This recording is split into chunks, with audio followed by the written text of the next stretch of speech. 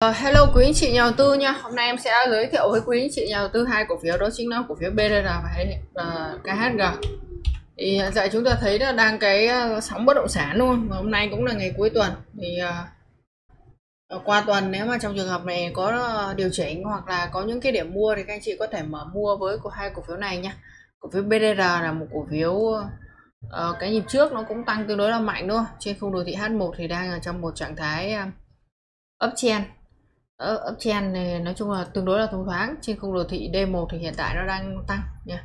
Đang tăng tuy nhiên là nếu mà trong trường hợp này uh, nó có điều chỉnh về quanh cái vùng ờ, 30.5 đến vùng 30.8 thì các anh chị có thể xem xét mua đánh một nhịp lên quanh vùng 36 37 nha. Bởi vì cái khung đồ thị tuần của nó thì hiện tại đang uh, tương đối là đẹp và thông thoáng. Nếu mà trong trường hợp này nó có hỗ trợ uh, tương đối là cứng quanh vùng 30 nha.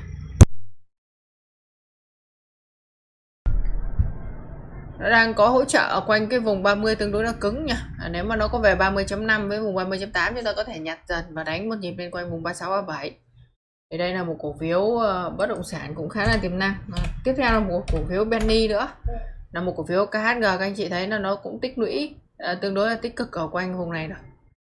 Thì nếu mà cái cổ phiếu này thì trên cái khung đồ thị H1 cũng đang rất là đẹp nha. Trên khung đồ thị D1 này. À, tuần và tháng cũng đang tương đối là ok rồi nó đang có hỗ trợ quanh cái vùng giá cổ phiếu KHG nha. Nó đang có hỗ trợ quanh cái vùng giá 6 uh, 6.2 tuy nhiên là theo em nếu mà nó uh, nhúng ở cái vùng à, 6 6.25 ờ, đến vùng 6.35 nha. Quanh về 6.35 6.36 các anh chị cũng có thể mở mua được rồi. Và cắt nỗ cổ phiếu này cắt nỗ khi mất hẳn giá 6 ở chốt nời thì trước mắt là chúng ta cứ kỳ vọng nên quanh giá 7 đã nha quanh giá 7 đã quanh giá 6.8 vùng giá 7 nha. Thì mất cắt lỗ khi mất 6 thì các anh chị có thể mở mua KHG quanh vùng ờ, uh, 6.26 đến vùng 6.36 nha. Uh, cắt lỗ khi mất giá 6 và chốt lời lên 6.8 vùng giá 7 còn BDR thì các anh chị có thể mở mua. Nếu nó có điều chỉnh thì có thể mở mua quanh vùng 30.5 đến vùng 30.8 nha. Cắt lỗ khi mất 29 và chốt lời quanh vùng 36 37 à, đây là hai cổ phiếu em có thể giới thiệu với quý anh chị tuần sau nếu có rung nắc thì các anh chị ờ, có thể xem xét nhặt nha. Nó cũng là đang là sóng bất động sản nên là nó cũng ờ, chúng ta cũng tranh thủ ờ, cái khung đồ thị của, của BDR khung tuần tương đối đẹp nha. Còn nếu mà anh chị nào thích Bentley thì chúng ta có thể xem xét cổ phiếu KHG nha. Nó cũng tích lũy trên khung tuần tương đối là đẹp.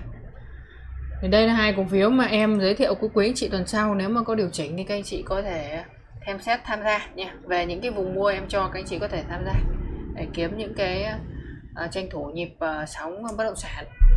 Uh, thì năm nay sẽ là năm uh, năm nay sẽ là năm uh, bất động sản nha. Uh, và đoạn này Vietnam Index của chúng ta thì đã xác nhận cái khung trung hạn là sẽ xác nhận là vào nhịp tăng. Thì anh chị có thể tận dụng những nhịp tăng giảm. Nói chung là quan trọng là đánh ngắn thì vị thế của chúng ta là mua đỏ bán xanh đó thì chúng ta nên không nên mua đuổi nhưng mà mua đỏ bán xanh nếu mà có điều chỉnh thì cũng là cơ hội thôi rồi khả năng đây là hai cổ phiếu mà em giới thiệu với quý anh chị tuần sau nhé tuần từ 24 tháng à, à, hôm nay là 24 tháng 3 hôm nay 24 tháng 3 tuần từ 24 tháng 3 đến uh, tuần từ 25 tháng 3 đến vùng à, đến 28 tháng 3 nha. Thì các anh chị có thể xem xét tham gia năm 2024 uh, với hai cổ phiếu này.